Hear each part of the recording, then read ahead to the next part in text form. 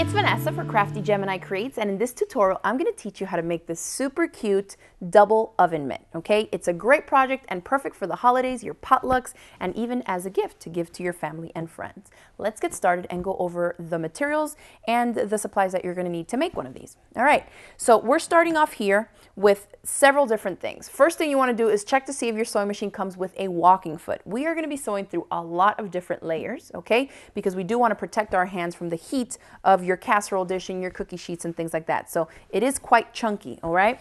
So let's, let's go over the fabrics and the measurements so you can see what we did here. So you're gonna need one fabric for the outside. And when I say outside, that means the part that's gonna be touching the actual casserole dish or, or cookie sheet or whatever. So decide what fabric you wanna use for here. And I'm using Lila's Kitchen. This is a gorgeous collection. It's called Lila's Kitchen by Andover Fabrics. So that's what I'm working with here. And you're going to pick one fabric for there, then another fabric that's going to be for what we're calling the lining, and that's going to be this part here, where your hands are actually touching. So decide, you know, which kind of fabrics you want to use for each of those. You're going to lay one piece down. This is the one that's going to be touching whatever's coming out of the oven, and that you're going to lay it with the pretty side facing down. Now the dimensions of all these strips that I have layered up here are 7 inches by 34, okay? Now the next layer we have here is a, a, product made by Bosal Foam and Fiber. It's called Polytherm Fleece. Now remember that we always link to all the materials and supplies that I'm using in these tutorials. You can just find the link in the video description box directly beneath this video. So this is an insulated fleece. It's punched. You can see there's a more metallic side of it and then one side that's more just like a, a fleece type of side. So you want to lay it so that the shiny side is facing the wrong side of whatever that uh, outside fabric is going to be and you lay it in that direction. The idea is that the reflective side of this polytherm fleece is going to reflect the heat back onto whatever the surface is that you're actually holding, okay? And then after that, we are going to go ahead and add an extra layer. This is just 100% cotton batting, and I'm using Quilter's Dream Select batting here, and it's just a nice enough loft. It just gives an, an extra little bit of protection there for your hands. And so we're laying that one after the polytherm fleece, and then after that, you have the last layer of what makes up the biggest sandwich of this project, and that is going to be whatever the lining fabric is. In this case, I'm using the same one that I used in this sample. This is so cute with whisks and spoons and spatulas. I think you guys are really going to love that, especially for a kitchen project. I really liked it. Now, the next thing is to baste all these layers together. This is where the walking foot comes in hand. Now, you're also going to want to lengthen your, uh, your stitch, your straight stitch, lengthen it to maybe like a 3, 3.5 so you can get through all these layers. So you just lay everything in this exact order. Remember that you can always rewind this video tutorial and go back and see so you make sure that you're layering all your uh, pieces here in the correct order. So you're going to stitch all the way around all four of these just to hold them in place. Next step is to make our actual pockets, all right? So I'm going to set this aside and let's work on the pockets. All right, so for our pocket pieces, we have fabric here that measures nine and a half inches by seven. We also have a layer of that Quilter's Dream cotton in the middle, same measurements, nine and a half by seven. And then you need one more additional piece of fabric to line the pocket. So two pieces, nine and a half by seven, plus a layer of cotton batting in between. And you need two of those for two pockets, okay? And then I want you to take it to the sewing machine and you're gonna stitch all around it. You can stitch just on four, on three of the four sides because we're going to bind one of the edges, so it's no big deal. So you can see the sample I have here. I've already stitched real close, about an eighth of an inch away from the outer sides, and you're going to repeat that to get two of these. Now let me show you how we're going to bind one of the ends. And to show you that, just so you see what I'm talking about as we go through the project, this is what I'm talking about. This is the pocket, and this is the binding part. We want a nice finish, okay, when we put in our hands there. So let's work on that. So we have the actual bodies of the pockets done. Then what you need to do is the binding part. Let me find my strip here. You're going to cut out a strip that measures two and a half inches by about eight. We're going to trim down the excess afterwards. But you're going to fold it in half. Then you'll open it, refold the outer edges down into the middle, and then you're going to refold the whole thing in the center. And make sure that you're taking that to your ironing board to press it. I have one that's been done here already for you so you can see exactly how it's going to look. And then all you're going to do is take this here and you're going to sandwich it right in there. You can put clips. Where are my wonder clips? Here they are. You can put a couple clips here and take it to the sewing machine and just top stitch those right in place. You just want to make sure that you're catching both fabrics on the front and the back side, okay? So after you have two of those pockets, they're rectangular in shape, but you are going to make them and lay them on here so they're going to end up being round afterwards, but let me show you how we do that. Where's my sample? Right here. All right, so after you get those pockets done, the idea is that on the side that you want facing you when you're using the double oven mitt, you're gonna lay those pockets on either end. So let me go back, just so you guys can see. And you're gonna lay these like this. Make sure that the edge that we just bound is going towards the inside. So you're gonna lay them like this and lay the other one like that. And then I want you to go to the sewing machine and baste around the edges. I know you already basted the other layers, but go ahead and baste this in place to keep everything together and keep it from shifting. Because once we're dealing with all these bulky layers, there is a tendency for it to all shift on you. So that's what you're gonna do. Add this to your layers and just top stitch. You can just top stitch along the two long sides here and that will be plenty, okay? Definitely don't top stitch where the binding is because you wanna leave that open for you to slip your hand through. Now, after you have that, you're gonna go down in the link in the description box below. We have a PDF pattern for you to download just this round template. You can also use like a dish or a sauce or anything like that will work. And you're gonna lay it on the ends of your double oven mitt here. And you can either mark it and cut it with scissors, or you can take your time and carefully try and cut through all those layers with a rotary cutter. And I've done the one side there for you. I think this one I'm just gonna mark and trim. And to mark it, I'm just bringing so that the roundest part right here is right on the edge because we don't want to trim too much from there. We basically just want to round the edges here. So just do that part. Real simple. And cut through all those layers, okay? So the technique for making this double mitt is really simple because you're basically making the individual components, layering it all up together, and now the easiest part the funnest part, I think what gives it the nicer, more finished look, is to bind it. Now, to bind this, as you can tell, because we have the curved ends, we need to make bias binding. You can't use crosswise grain cut binding on this because you're not going to have enough stretch to carefully kind of cup around these rounded edges. So I'm actually going to show you in this tutorial how to make your own bias binding. So to do that, I have you cut out a square, measures 18 inches by 18 inches of whatever binding fabric you want to use. You're going to grab one corner take it to the next corner so you end up folding this triangle in half. Okay? And now to make it easier for myself, instead of trying to cut these long strips this way, I actually bring this bottom corner that's closest to me and I bring it up to match the top. And then I'm going to grab it and turn it so that now I have kind of a backwards L with the two right angles, like the two right flat sides that I have right here for me. So this should be a right angle, and then this gives you that bias edge. So let's grab our long strip ruler here. And I love this folding ruler. Remember, the link for where you can find these supplies is in the description box below. All right, so the first thing we need to do is right here where we have all these folds, we have folds and we want strips, right? So we need to get rid of that fold first. So let me trim this down just about an eighth or a quarter of an inch, just enough so that you're trimming away that last um, little folded part. Now we're gonna measure over, and I use two rulers for this, two and a half inches. So here's this ruler measuring two and a half inches all the way up, and I'm gonna cut a strip. These are already bias strips. Come over, do the same thing again, and I just want you to cut three times to make three of these two and a half inch cuts and that's plenty. It'll give you enough bias binding when we combine the strips together to get around the entire project. And I'm going to cut one more.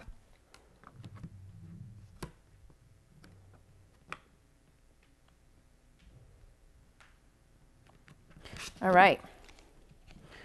So now that we have all these strips, right? How are we going to combine them? Well, if you look, all the ends are off in a different angle.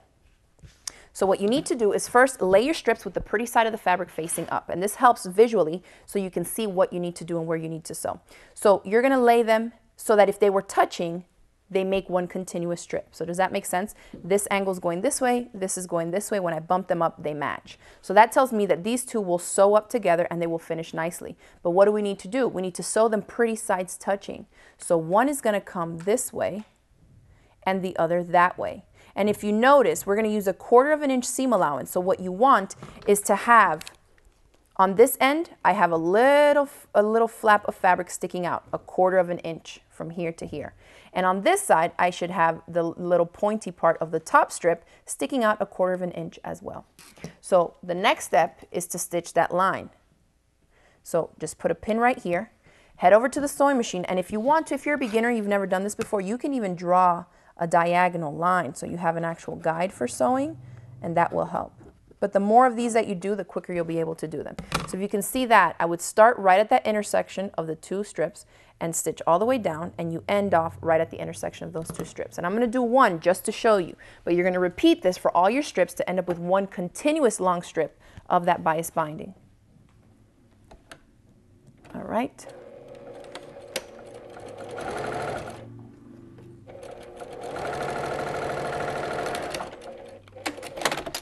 So here is what we get when we flip it. You see that? We joined them perfectly, and because we had that quarter inch flap sticking out on both ends, when we pull it back, we don't get any mismatching points here. You have to account for that seam allowance when you're stitching these together on a mitered angle like that, okay? So all you do there is basically trim off the little dog ears and you end up with one nice flush and clean bias strip. So you're gonna continue to do that until you get all your strips together. And then you're going to end up with a nice little roll like this. And what I've done is I've folded it in half. I always press my seam allowances open to reduce bulk and then fold it in half and give it a good press. So now we have our homemade bias binding. So to attach it, let me show you all what I do. You're going to attach it basically like you would attach any other binding to any quilt. So we're going to machine stitch it down first and actually we're going to machine stitch it to secure it at the end. You can totally sew it by hand, but I'm going to show you my tips on how to um, machine stitch binding into place. So I generally will start somewhere here in the center, give myself about a 10 to 12 inch strip extra, and then we'll start with the wonder clips. And we're matching up raw edges of the bias binding with the raw edge of the double mitt. Okay, so all your raw edges should match up, just like quilt binding. And I just put a couple to help me get it in place before I start stitching. So we're going to stitch this all around and you, when you get to the curve part, you're going to want to work your way around, but it will give on you because it's cut on the bias. So just take your time sewing nice and slowly. And now the seam allowance for this is about a quarter of an inch, so make sure you have that walking foot in there. And if you want, you can even on this point here, since we went ahead and trimmed it down round, you can go back and kind of uh, baste this into place just to condense the layers down a little bit more if you know that your machine kind of struggles to go around it. So I'm gonna go to the machine and take a few minutes to stitch this whole thing all the way around. I'm gonna start about here and I'm gonna stop about here as well, giving myself a nice big chunk so that I can end off my ends uh, of the binding when I get there.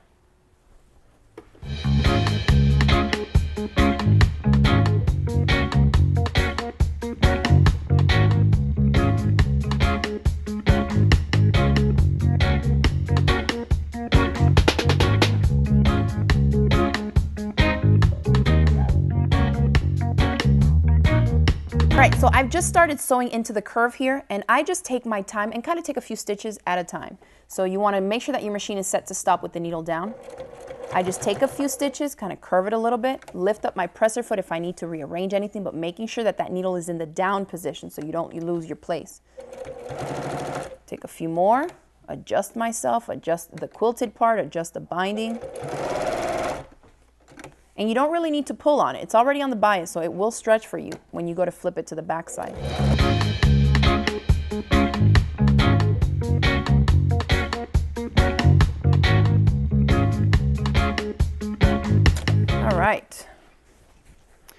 So now let me show you my quickest and easiest. It's my favorite way to finish off binding ends. So for one end here, I'm just going to trim it a little bit. Okay, one of them is not going to matter. The important thing here is to make sure that your two strips overlap by whatever the width of your strips were. So by that I mean, how wide did you cut your strips for the binding? And in our case, we did two and a half inches wide. So two and a half inches. This one needs to overlap. Let me make this a cleaner, straighter cut.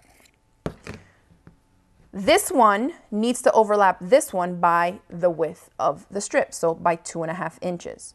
So you can see I'm just putting it slightly off so you can see where that bottom strip is. And I'm going to measure over from here, two and a half inches. So two and a half puts me right here. And I can just draw a straight line for you so you can see. All right, so does that make sense? From here to here, they're overlapping by the two and a half. So what we do is trim off the excess from the top strip.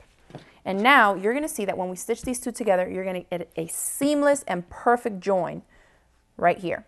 So to do that, we're gonna go back to the same way that we put our strips together. You're gonna turn it, lay one of your strips facing, pretty side facing up and vertically, And then you're basically going to make a backwards L. So the next strip has to go pretty side facing down and going this way.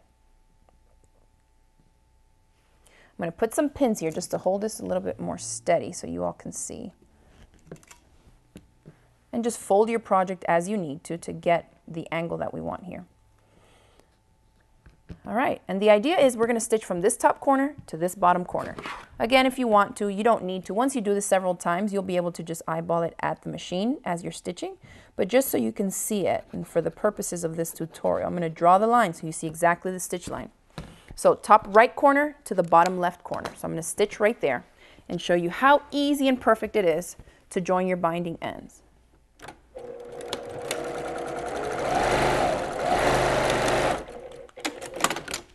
All right. That was painless. Get rid of our pins. And now we can trim back our seam allowance to our quarter inch. I press this open, and you can also press it with your iron, but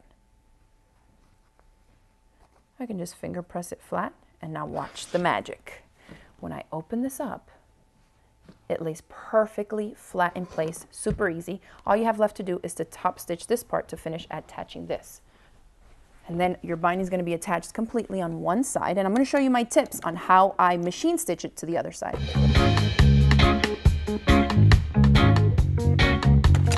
Okay. Easy peasy. Now we need to flip this back, right? And stitch it to the back side. What I want you to do at this point, because we've been sewing through so many layers, is to go around, look and see what you need to trim up. So I can see I have a little bit of extra bulk sticking out here. I'll trim that bit off. Any extra bulk you get in there is not going to allow your binding to really finish cleanly on the other side or far enough over that you'll be able to machine stitch it down. So if you need to trim, go ahead and trim. Feel like I have a little extra bulk here.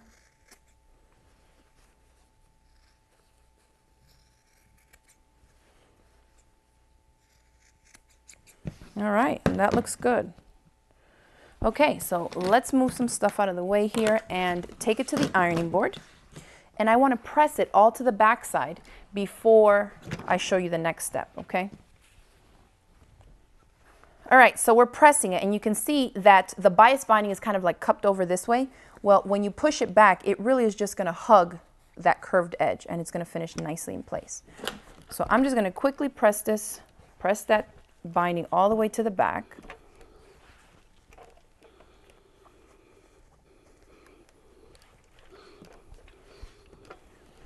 Looks good from this side.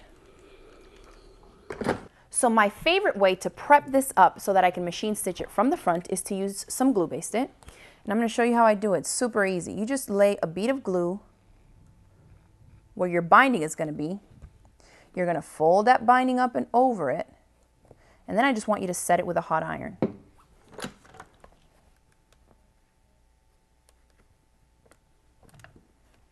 And you're going to work your way around the entire thing. It will literally look like it's almost done except there's no stitching. So you can see just like that, tuck in anything that you see in there and the same thing works for those curves. So I would just glue this down, press it with that iron, and you're basically getting rid of all the prep work because nothing is going to move on you. You don't need pins. You don't need clips at this point when you go to stitch it down. Now, to stitch it down, once you've basted the entire thing, what I want you to do is go from the front side, flip it back to where you see the pockets, and then what you're going to do here is you're going to stitch in the ditch. And the ditch, for those of you that don't know, is basically where the binding meets whatever the patchwork is or the project itself. So in this little groove here is where you're going to stitch. And once you do that, you're going to do that all the way around. And then you'll end up with something like this. You can see I stitched in the ditch. If you pull back there, you can really see the stitching because I used a gray thread, but you can see where the stitching is. And when we flip it to the back, you can see that it catches the binding, okay? All the way around.